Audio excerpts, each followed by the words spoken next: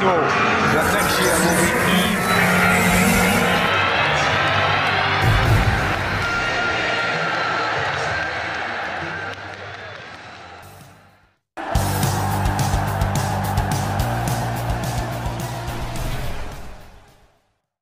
Masasena told make very good PR signing to replace a fragile World Cup winner.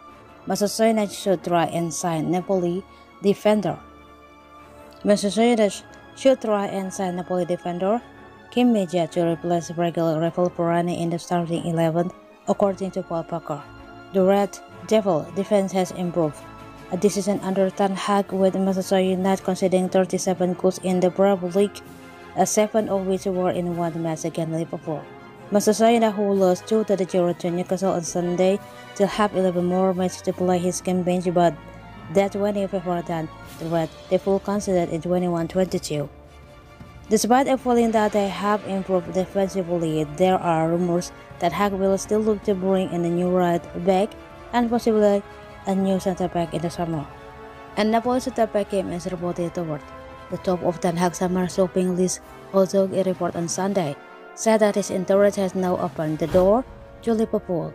It looks like Harry Maguire will possibly Manchester in the summer transfer window and former Red Devil fullback Parker Recon Kim would be the perfect player to compete with Oribon Oates Perennial from the starting 11 at Old Trafford. Parker told Calvert, Kim Min-jae has done excellent for a Napoli this season and I would love to see him at Manchester United.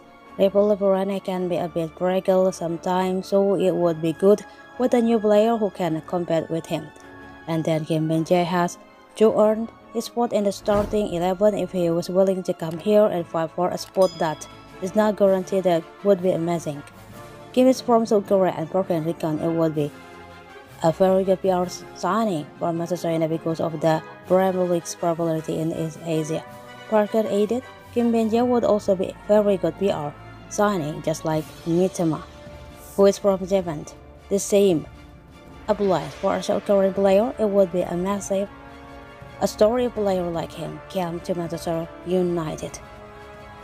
Of course, Manchester United would have to say goodbye to Victor Lindelof as he will have a very tough time with getting games in the future if Kim arrives.